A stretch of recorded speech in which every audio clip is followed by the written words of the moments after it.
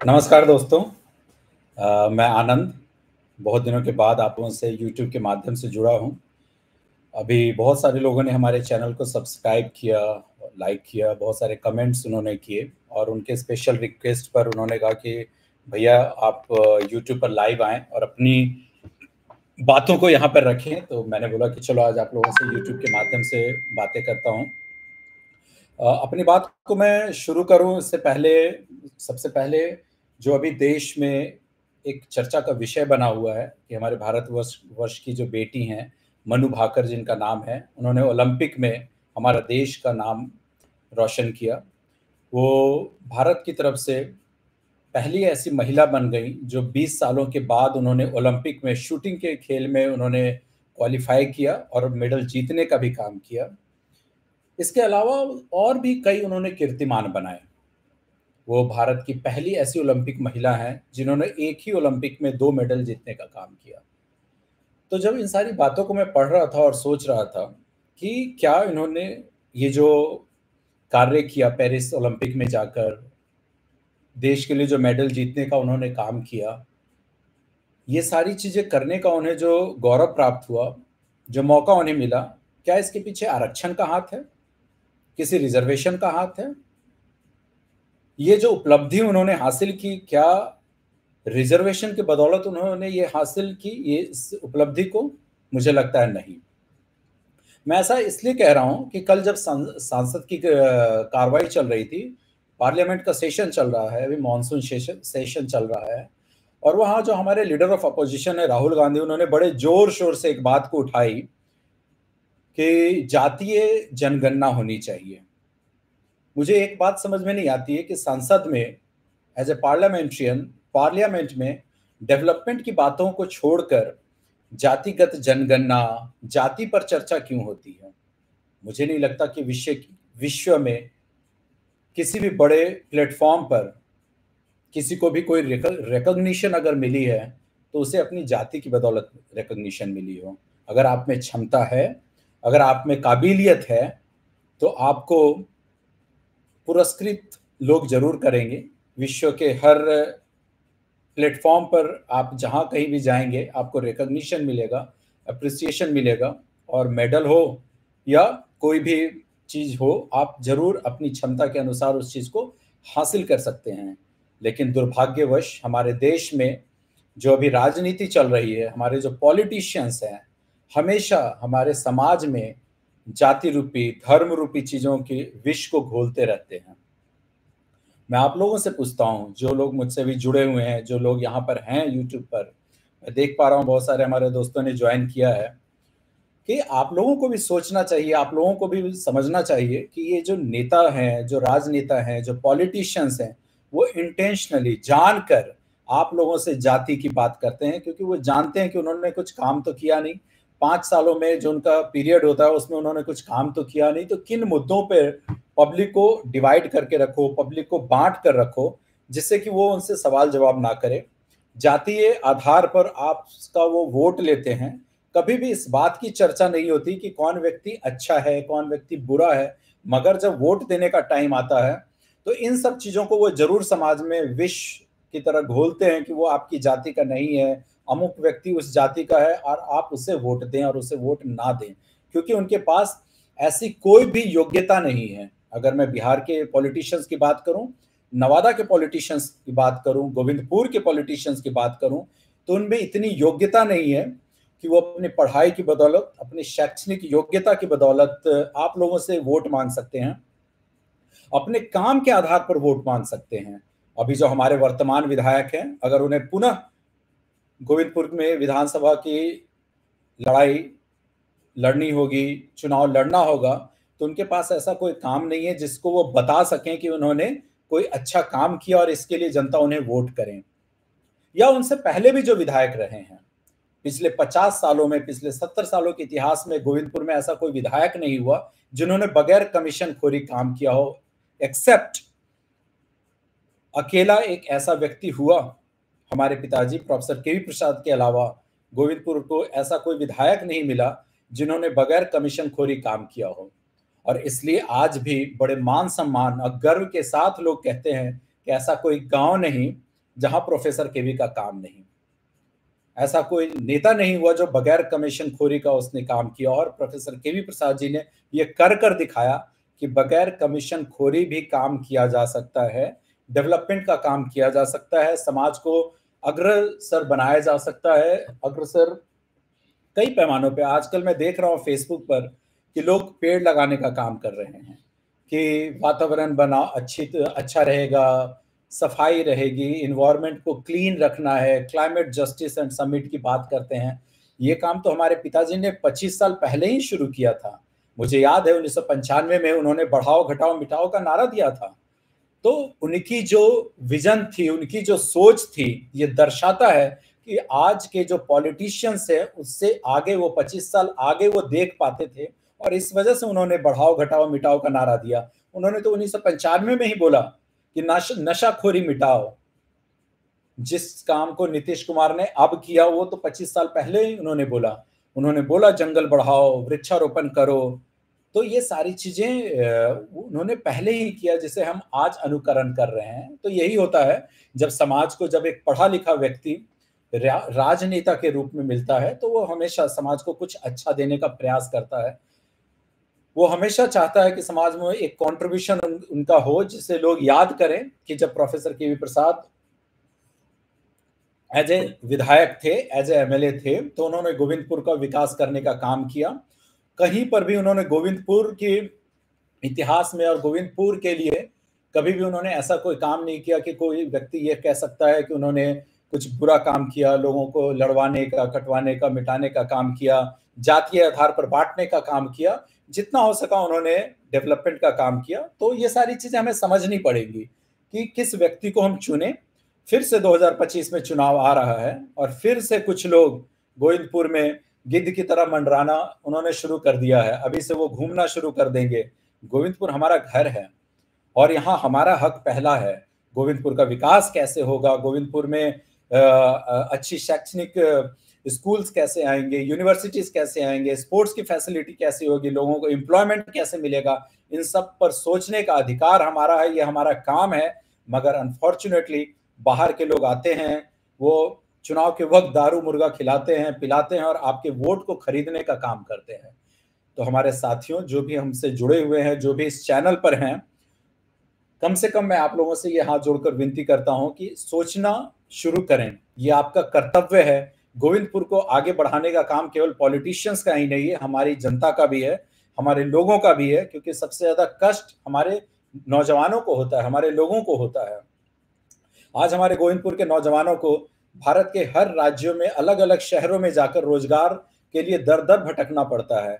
अगर भारत के किसी भी शहर में अगर कहीं मजदूर की मौत होती है तो बिहार का मजदूर मरता है, हमारे नवादा गोविंदपुर का मजदूर मारा जाता है।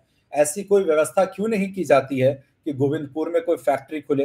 हमारे नवादा के जो एमपी बनते हैं, जो सांसद बनते हैं, वो कभी बेगूसराय में चीज़ों को लेकर चले जाते हैं, वो कभी मोकामा लेकर चले जाते हैं, कभी नवादा से बाहर लेकर चले जाते हैं, क्योंकि हमारे नवादा का कोई बेटा आज तक सांसद हुआ ही नहीं, जिसे इस बात का दर्द हो कि नवादा का भी विकास होना चाहिए। एज एन एमपी एक एमपी को इतना फंड आता है सांसद निधि में कि अगर वो चाहे तो नवादा की सूरत बदल सकता है, तकदीर और तस्वीर बदल सकता है, मगर उसे जब दर्द ही नहीं है नवादा के लिए तो वो नवादा के लिए काम क्यों करेंगे? तो इन सारी बातों पे मैं सोचता हूँ विचारता हूँ और प्रयास करता हूँ अपने पिताजी के साथ मिलकर, हमारे नौजवान साथियों के साथ मिलकर, आरसीडी परिवार के साथ मिलकर मैं हमेशा प्रयासरत रहता हूँ कि कैसे नवादा और गोविंदपुर को आगे बढ़ाया जाए। तो आज जब मैं आप लोगों के साथ लाइव आया तो मैं चाहता था कि कुछ चीज़ों को अपडेट करूँ। बहुत सारी नई चीज़ों की मैंने शुरुआत की है गोविंदपुर के लिए, नवादा के लिए। बहुत सारे नौजवानों को हमारे परियोजनाओं के बारे में, योजनाओं के बारे में पता है। बहुत सारे नौजवानों को हमारी तरफ़ से चलाई जा रही योजनाओं के बारे में नहीं पता है तो मुझे लगा कि आप लोगों से जुड़कर मैं बताऊँ। तो सबसे पहले मैं रोज़गार की बात करता हूँ, क्योंकि मुझे ऐसा लगता है कि रोज़गार हमारे नौजवानों के लिए बहुत ही इंपॉर्टेंट है, उन्हें रोज़गार मिलना चाहिए। हमारी तरफ़ से ये प्रयास ज़रूर होना चाहिए कि कुछ ना कुछ, कहीं ना कहीं इस ऐसी व्यवस्था होनी चाहिए, जिससे कि हमारे गोविंदपुर और नवादा के नौजवानों को रोज़गार गोविंदपुर में ही मिले नवादा में ही मिले, उन्हें कहीं दूसरे राज्य, दूसरे ज़िले में जाकर भटकना ना पड़े और बिहारी रूपी गालियों का सामना ना करना पड़े। बिहार से बाहर आप कहीं पे भी जाते हो तो जो भी नौजवान मुझसे जुड़े हुए हैं, जो बिहार से बाहर रहते हैं, उन्हें पता है कि आपको बिहारी रूपी गाली से अलंकृत किया जाता है। आपको बिहारी कहकर पुकारा जाता है, कहीं भैया जी कहते हैं, कहीं बिहारी कहते हैं, और कहीं भी आपको मान और सम्मान नहीं मिलता, क्योंकि आपके रोज़गार, गाँव में, आपके शहर में, आपके जिला में, आपके राज्य में कोई ऐसे रोज़गार रोज़गार की व्यवस्था नहीं है, जिसकी वजह से आपको बाहर जा जाकर भटकना पड़ता है। तो मैंने सबसे पहले अभी क्या किया है, अपने फाउंडेशन के तहत मैंने नवादा जिला के करीब 50 नौजवानों को रोज़गार देने का काम किया है। ये 50 नौजवान जो कि जिन्होंने अच्छी खासी पढ़ाई उन्होंने कर रखी है, शिक्षा ले रखी है 50 नौजवानों को रोज़गार देने का कार्य किया है। ये रोज नौजवान मुझसे जुड़कर हर दिन हमारे साथ काम कर रहे हैं। हमारा प्रयास है कि 50 की जो संख्या है उसे बढ़ाकर कम से कम 200 से 250 तक की जाए। तो ये 200 से 250 जो नौजवान जुड़ेंगे, ये सारे नौजवान नवादा, गोविंदपुर के होंगे। नवादा के किसी भी ब्लॉक के हो सकते हैं, किसी भी विधानसभा के हो सकते हैं। मेरी नज़र में नवादा हमारा, हमारी मातृभूमि है, हमारा घर है, हमारी जो प्रायोरिटी है, ऐसा नहीं कि केवल गोविंदपुर के नौजवानों को ही हम एम्प्लॉयमेंट और रोज़गार देंगे। ये एम्प्लॉयमेंट की जो व्यवस्था की जा रही है और हम आगे भी करेंगे, ये पूरे नवादा के लिए है। बगैर किसी भेदभाव, बगैर किसी जाति, बगैर किसी धर्म को देखते हुए हम लोगों को रोज़गार प्रोवाइड कराएँगे। क्योंकि जो मैंने अपने पिताजी से सीखा है, जो हमारी परवरिश रही, जो हमारे माता पिता और हमारे गुरुओं ने सिखाया, उन्होंने हमेशा कहा है कि बगैर किसी भेदभाव without any discrimination we should always provide employment opportunity so मैं जहाँ कहीं भी आप लोगों को रोज़गार प्रोवाइड कराऊँगा, वहाँ पर कहीं पर भी आप लोगों को किसी तरह के भेदभाव भेदभाव, जाति, धर्म को देखकर रोज़गार नहीं दिया जाएगा। अगर आप में शैक्षणिक योग्यता है, आप में ये काबिलियत है कि आप अच्छी तरीके से अपना काम कर सकते हैं तो आपको हमसे जुड़ने का ज़रूर मौका दिया जाएगा। हमारी जो टीम अभी गाँव गाँव जाकर लोगों से मिल रही है, आप लोगों को बताएगी कि किस तरीके से आप हमसे जुड़ सकते हैं, किस तरीके से आगे भी आप जुड़कर काम करते रहेंगे। और आने वाले वक्त में, अभी नवादा में, हम पाँच हज़ार महिलाओं के साथ जुड़कर काम करेंगे। इन पाँच हज़ार महिलाओं को हमारी तरफ़ से स्किल डेवलपमेंट और कैपेसिटी बिल्डिंग का भी प्रोग्राम कराया जाएगा। उन्हें इन सारे काम को करने के लिए हम आर्थिक मदद भी करेंगे और इन महिलाओं को आगे, ये जो पाँच हज़ार महिलाएँ होंगी, पूरे नवादा जिला के हर गाँव से इन महिलाओं का सिलेक्शन किया जाएगा और इन्हें किसी न किसी एम्प्लॉयमेंट पॉलिसीज़ में हम जोड़ेंगे और आगे भी ये देखेंगे कि इन महिलाओं को कैसे सही मायनों में जब हम एम्प्लॉयमेंट और वुमेन एम्पावरमेंट की बात करते हैं, महिला सशक्तिकरण की बात करते हैं तो इन महिलाओं को किस तरीके से सशक्त बनाया जा सकता है, अपने पैरों पे खड़ा किया जा सकता है, ये ये हमारे फाउंडेशन की तरफ़ से किया जाएगा, जिससे कि उन्हें रोज़गार भी मिले, वो पढ़ाई भी कर पाए और अपने पैरों पर खड़ी होकर कल को घर से बाहर निकलकर उन्हें रोज़गार करने की अगर आवश्यकता भी पड़े तो वो इतनी इंडिपेंडेंट हो कि वो रोज़गार कर सकती हैं।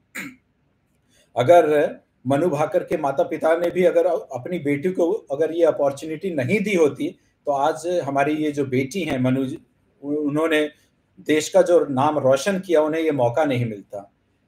मगर दुर्भाग्य से हमारे नवादा में, हमारे बिहार में खेल की कोई भी फैसिलिटी नहीं है खेल कूद की कोई फैसिलिटी ही नहीं है।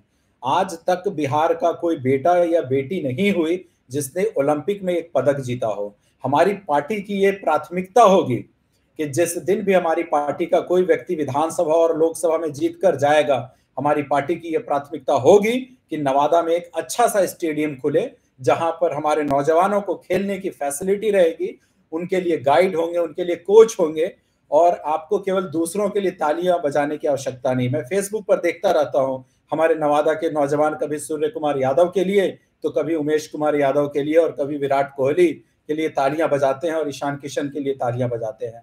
हमारे नौजवानों को खेलो इंडिया के तहत जुड़ने का मौका मिलेगा स्टेडियम की फैसिलिटी होगी कोच रहेंगे, जिससे कि हमारे नवादा और हमारे बिहार का बेटा भी ओलंपिक जैसे बड़े प्लेटफॉर्म पर जाकर हमारे बिहार का नाम रोशन कर पाए।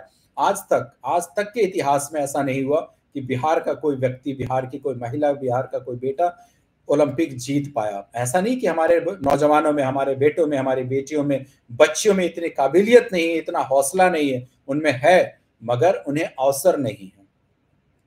उन्हें खेलने की फैसिलिटीज़ नहीं है, कोई अच्छा स्टेडियम नहीं है। और इसके पीछे ये है कि बिहार के जो नेता हुए, जो पॉलिटिशियंस हुए, पिछले 35 सालों से जो पॉलिटिशियंस बिहार को और उससे पहले भी जो पॉलिटिशियंस बिहार को रूल कर रहे हैं, जिनकी यहाँ सरकार है, उन्होंने कभी चारा खाने पे ध्यान दिया तो कभी किसी ने सृजन घोटाला पे ध्यान दिया और कभी किसी ने पुल गिराने पर ही फोकस किया, कभी किसी ने ये प्रयास नहीं किया कि कैसे यहाँ एक अच्छा स्टेडियम बने, कैसे हर डिस्ट्रिक्ट में स्टेडियम बने हर ब्लॉक में हमारे नौजवानों को खेलने के लिए फैसिलिटी रहे तो हमारी ये पार्टी की प्राथमिकता रहेगी कि हम अपने नौजवानों को कैसे आगे ले जाने का प्रयास करेंगे, उनको अलग अलग कोच और इन सारी फैसिलिटी से जोड़ पाएँगे।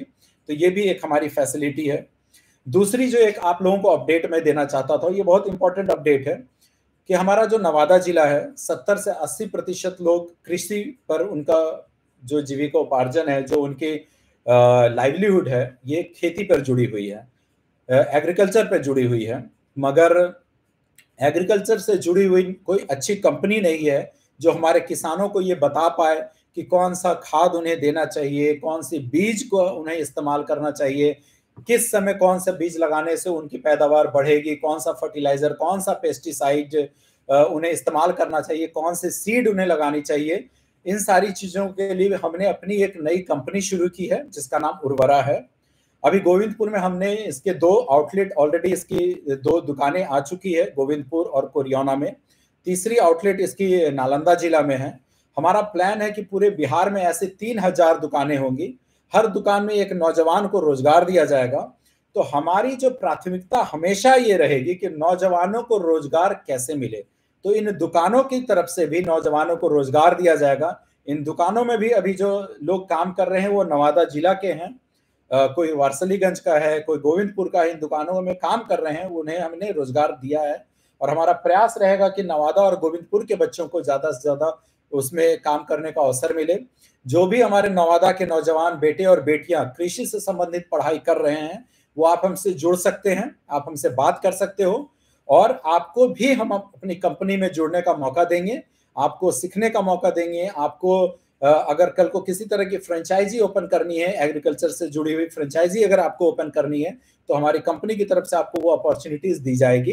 और इस कंपनी के माध्यम से अभी बहुत जल्द हर ब्लॉक में उर्वरा के शॉप्स ओपन होंगे, जहाँ के, जिन शॉप से आपको सस्ते दर पर सबसे अच्छी क्वालिटी के सीड्स, जिसे हम क्वालिटी सीड्स कहते हैं, आपको उपलब्ध कराए जाएँगे। फर्टिलाइज़र जो मार्केट में काला बाजारी होती है, गलत और ऊँचे दामों पर आपको बेचा जाता है, वो हम आपको गवर्नमेंट के रेट पर फर्टिलाइजर्स आपको अवेलेबल कराएँगे। और हम कल इस चीज़ की भी व्यवस्था करेंगे कि जो किसान धान उपजाते हैं और जिन किसानों को पैक्स में जाके धान को बेचना पड़ता है और पैक्स के चेयरमैन से मिन्नतें करनी पड़ती है तब भी वो उनके धान को नहीं लेते हैं। मैं इस चीज़ की भी कोशिश करूँगा कि आपके खलिहान से ही धान उठा लिया जाए और आपको एमएसपी जो गवर्नमेंट ने दिया है मिनिमम सेलिंग प्राइस पे, आपको वो पैसे हाथों हाथ मिले। इन सारी चीज़ों की मैंने प्लानिंग की है। अगले एक से दो साल में आप देखेंगे कि ज़मीन पे ये सारी चीज़ें उतार दी जाएँगी।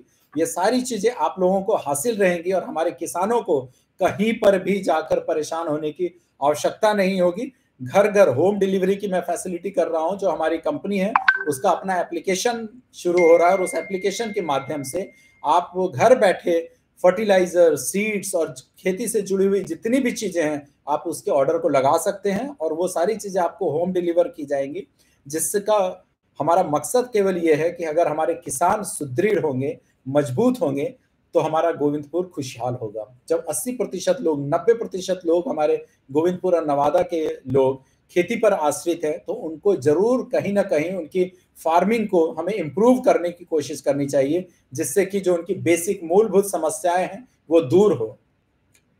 कभी भी मुझे ऐसा नहीं लगता है कि जब मैं जीतूँगा, तभी ये सारी चीज़ों को शुरू कर सकता हूँ, और जब विधायक या एमपी बनूँगा तभी ये सारी चीज़ों को मैं शुरू कर सकता हूँ। इसके लिए इन सब, इन सभी कामों को करने के लिए, इन सभी कार्यों को करने के लिए आप लोगों के आशीर्वाद से, आपके प्यार से, आपके स्नेह से और माता पिता के आशीर्वाद से मुझमें इतनी क्षमता है कि हम, मैं अपने नवादा और गोविंदपुर की जनता के लिए हमेशा कुछ ना कुछ अच्छा काम कर सकता हूँ। हमने जो पढ़ाई की, हमने जो एजुकेशन और हमने जो वर्क एक्सपीरियंस लिया अलग अलग देशों में काम करके घूम कर जो हमने अनुभव किया, हमने जो सीखा, हमने जो देखा, उन सारी चीज़ों को मैं अपने गोविंदपुर जो मेरी जन्मस्थली है, वहाँ तक पहुँचाने का काम करूँगा। मेरा यही मकसद है। और इसमें सबसे पहले हमारे किसान और हमारे नौजवानों के लिए जो मैं काम कर रहा हूँ, इनमें अनवरत हमारा प्रयास चलता रहेगा हमारी कंपनी से। आप लोगों को सस्ते दर पर फर्टिलाइज़र आपको बीज मिलता रहेगा। और जो हमारे नौजवान अभी जो पचास लोगों को हमने ये अवसर दिया है अपनी फाउंडेशन और अपनी कंपनी के माध्यम से वो हमसे जुड़कर अगले छः महीने, एक साल तक हमसे काम करेंगे। इसके अलावा भी जो अभी 100 और नौजवानों को भी हमें भर्ती करनी है अपनी फाउंडेशन में, उनको भी बहुत जल्द हम अपने कार्य से जोड़ेंगे। पाँच हज़ार महिलाओं का सिलेक्शन ऑलरेडी शुरू कर दिया गया है। हमारी जो टीम के लोग हैं, हर दिन गाँव में जा रहे हैं, वो सिलेक्शन कर रहे हैं। उन्हें भी हम जोड़ने का काम करेंगे और इस तरीके से जब सारी चीज़ों पे हमारी जो बेटियाँ हैं, हमारे जो नौजवान हैं, हमारे जो किसान हैं, सबको जोड़कर तब जाके हमारा गोविंदपुर, हमारा नवादा एक सशक्त नवादा, एक उत्तम नवादा, एक उन्नत नवादा बन सकता है। और तब जाकर मैं कहीं सही मायनों में कह सकता हूँ कि नवादा की तस्वीर और तकदीर तब बदल सकती है। इन राजनेताओं के भरोसे अगर नवादा और गोविंदपुर को छोड़ दिया गया तो ये पॉलिटिशियंस कभी भी हमारे गोविंदपुर और नवादा के लिए कुछ नहीं करेंगे। क्योंकि उनका तो केवल केवल मकसद ये है कि कैसे कमीशन खोरी की जा सकती है, कैसे घूसखोरी की जा सकती है। जितने भी एमएलए और एमपीज नवादा के हैं, जितने भी हैं, सभी 10 प्रतिशत, बीस प्रतिशत, तीस प्रतिशत, चालीस प्रतिशत कमीशन लेकर काम करते हैं और उन्होंने सिस्टम को इतना करप्ट बना दिया है कि यही सिस्टम ब्लॉक में भी है। आप अगर ब्लॉक में कोई काम कराने जाए, कोई प्रमाण पत्र बनाने जाए, कुछ भी करने जाए तो बीडीओ से लेकर डीएम तक सबों को करप्ट कर दिया गया है, क्योंकि हमारे जो पॉलिटिशियंस हैं, वो कमीशन खोरी करते हैं और कमीशन खोरी करते हैं तो इन एडमिनिस्ट्रेशन को, इन, ये जो एडमिनिस्ट्रेटर हैं, इनको भी कमीशन खोरी करने के लिए बाध्य करते हैं। हर स्कूल में, अभी मैं नेक्स्ट मंथ से क्या करूँगा, हर स्कूल में एक एसएमसी होती है। SMC stands for school management committee her school की, हर गाँव में जो स्कूल है, वहाँ पे एसएमसी होती है स्कूल मैनेजमेंट कमेटी होती है। जो भी गाँव है, मैं उन एसएमसी से समझना चाहूँगा कि स्कूल के विकास के लिए उन्होंने क्या प्लान बनाया है। हर एसएमसी में टीचर्स को एओपी बनाना पड़ता है। तो अभी मैं जिस गाँव की भी विज़िट करूँगा, मैं वहाँ के हेडमास्टर से, वहाँ के स्कूल से ये समझने का प्रयास करूँगा कि आपका एओपी क्या है। आपने स्कूल के डेवलपमेंट के लिए क्या प्लान किया है? और अपने बच्चे और बच्चियों के लिए एक साल का आपका क्या प्लान है कि उनको अच्छी शिक्षा आप दें?